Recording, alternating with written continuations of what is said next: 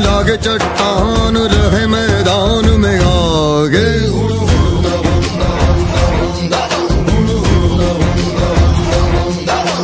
जो झुंझार होते यार वही सरदार सलागे।